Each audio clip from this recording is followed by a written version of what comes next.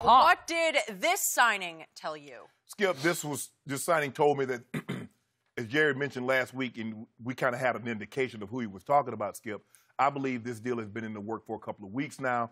Just, just all of a sudden, just didn't pop up.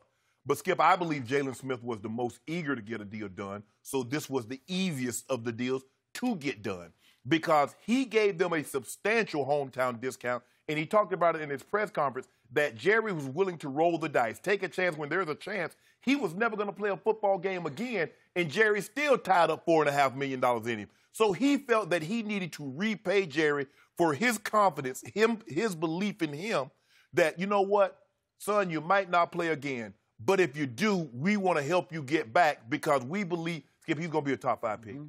He was special, and you you you you see what was going on in his head and this is why you saw a lot of guys skip started skipping the bowl game. Yep. They're like, man, I'm risking 20, 30 million dollars out here for what? Yeah. For yep. a jersey with a patch on it that says Orange Bowl or Fiesta mm-hmm. Bowl. Yep. But for me, Skip, this is a team. This deal is very team friendly. He had one more year left on his deal, and they add, you know, they extend, uh, gave him an extension. He got good money. He got a, uh, the security that he wanted. But this deal is re- this deal is really team friendly, Skip, because he got what 34, 34 and a half guaranteed. So you prorate a lot of you, probably got 20 million at the time of signing. You prorate that out.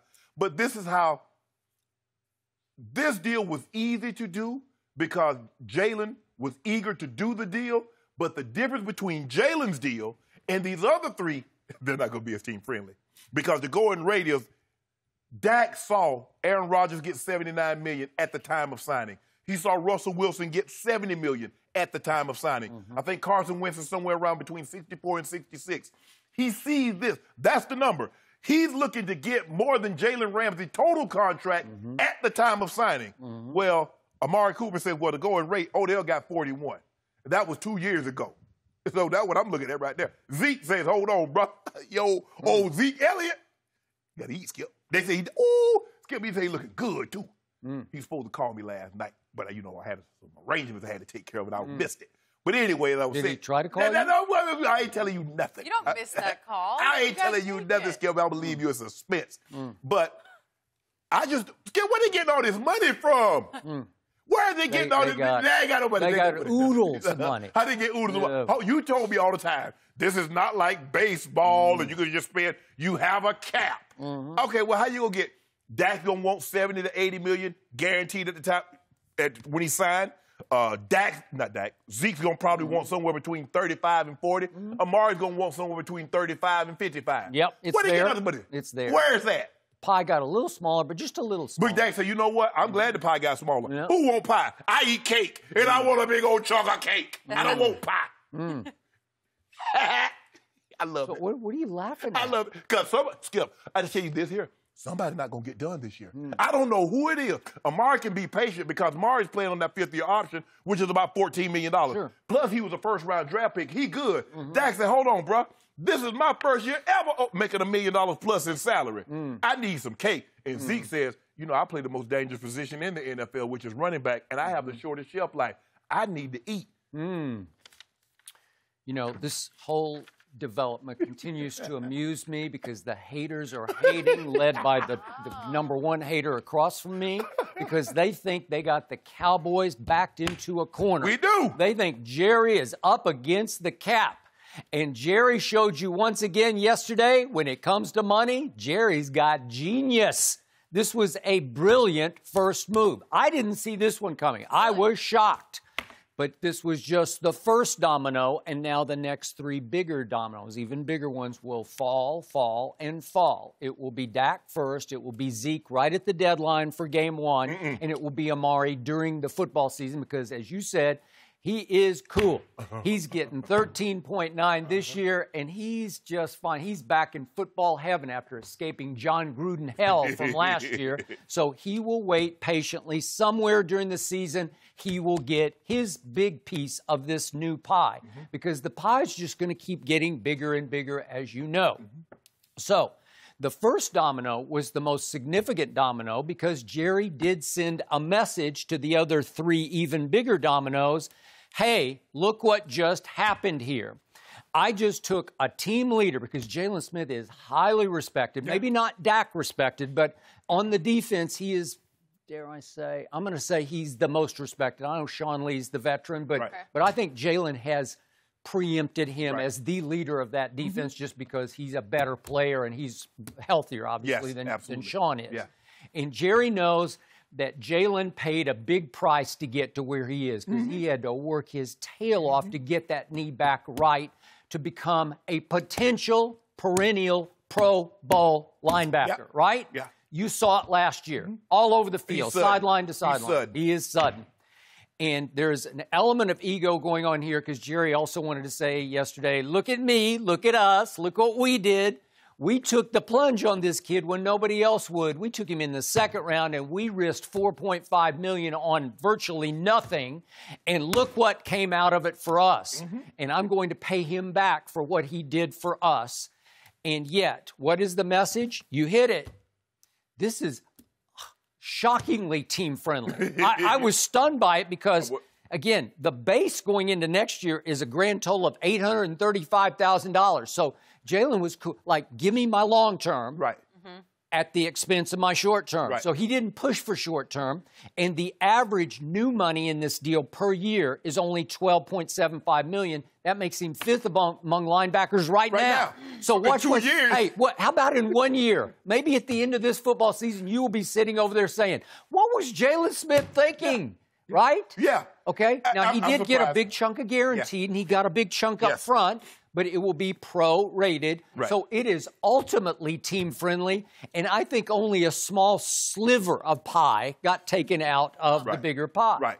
Because eh, let's just say for the sake of argument, Skip, he's got $34, 35 million dollars guaranteed. They write him a check for 20 million dollars. Well, you prorate that over the life of the contract, so you got basically six years. So he's like 3.5. So his his cap number next year probably going to be like four million dollars, a little over four million dollars, Yep. which is nothing. That was the thing, and that's what he was willing to do, Skip, because he looked at it like. I've been down this road before where I had an injury and I didn't know if I was going to play again. Let me take this now so if something unforeseen do happen, I'm mm-hmm. protected on the back end. But he gave up a lot of real estate, Skip. He, did. boxed himself into a corner. In two years from that, now, Skip, maybe not next year, but two years from now, he's gonna look back like, what the hell was I thinking? Okay. Because if he's Skip, if he's if if he's what you now, he happens to be in the NFC. Now the two best middle linebackers in the NFL are in the NFC, Kuechly and Bobby Wagner. Okay. So, but he's he's coming. He's young, he, he's younger than both of them. And he's gonna look back, Skip, and you know this is gonna happen. He's gonna look back and like, Jerry, y'all, I need to see y'all again, bro. Hmm. Jerry just took somebody to the cleaners. Oh, you like you like he did. I, I don't. What do I keep telling you about Jerry Jones? Again, on football decision making, on GM moves, not the biggest fan, but when it comes to salary cap, when it comes to negotiating, when it comes to the psychological warfare of winning negotiations, this is Jerry's Super Bowl, and he just won the first quarter of the Super Bowl. you, this this was very Patriots esque. This is what they do. They remember Skip. Remember they got Gronk on that deal. They're like, look at the money they gave Gronk, and then two years like, Hmm? man, Gronk making peanuts. Hmm? Hmm? I, mm, mm, mm. look, but he. I mean, uh, like I said, when you when you Skip, when you get two sides that are motivated, when Jay, when Jaylon Smith is motivated to get a deal done, the Cowboys are motivated to do a deal. Mm-hmm. You can come together fairly quickly. Now, on the other side, Skip, it seems like Jerry is more motivated than these guys for the simple fact they're not willing to give him the hometown discount because Jaylon sat on the field in, in his last game of college and he didn't know if he was going to play again. Dak, like, I ain't missed a game. Zeke's like, I hadn't missed a game due to injury, and Amari says, I've only missed three games. So I, I don't have the worries that I'm going to be hurt long term that's going to uh, greatly decrease my value of getting a long term deal that's more individual friendly as opposed to team That's, friendly. that is correct. So, the Jerry Jones I know so well, I can tell you yesterday, he was in a foul and angry mood. And he was most angry at the shot that Rocky Arceneaux, Zeke's agent, took back at Yeah. him about how disrespectful his It Zeke was. Comment was. And we will discuss that in just a few minutes. we will. But that's that's what set him off, and he continued to be foul and angry in all of his responses to the media post announcing the Jaylon Smith, Yeah. as he uh, Stephen, his son called it a happy moment. Yeah. And he said, now we need a happy moment for Dak and a happy moment for Zeke and a happy moment for Amari. Right. But Jerry was in full on bad cop mode yesterday while son Stephen was playing good cop. Mm-hmm. Son Stephen said only very positive things about w- we obviously have a feel for how this is going to play out, and we are very optimistic we will get all three of the other deals done in short order. He just went on and on. He said, we want them to be Cowboys. They want to be Cowboys. We will get them done. He said, obviously, the pie's a little smaller, but Jerry said the pie got a lot smaller. And Jerry, we just saw the, you saw what he said. He was angry about the team takes precedent Okay, at a point and, and over the opinion or the demand of the individual. Yeah. So he's saying, look what Jaylon did. Yeah, that He sacrificed for the team Yeah, because he's a team leader. Now it's up to the bigger pieces of the pie to take a little bit of a cowboy discount. But That's see- what he's saying. Let's. Thank you for watching. You can subscribe here to get the latest from the show and be sure to check out more of the best clips from Undisputed or go watch a few other segments from our other shows on FS1.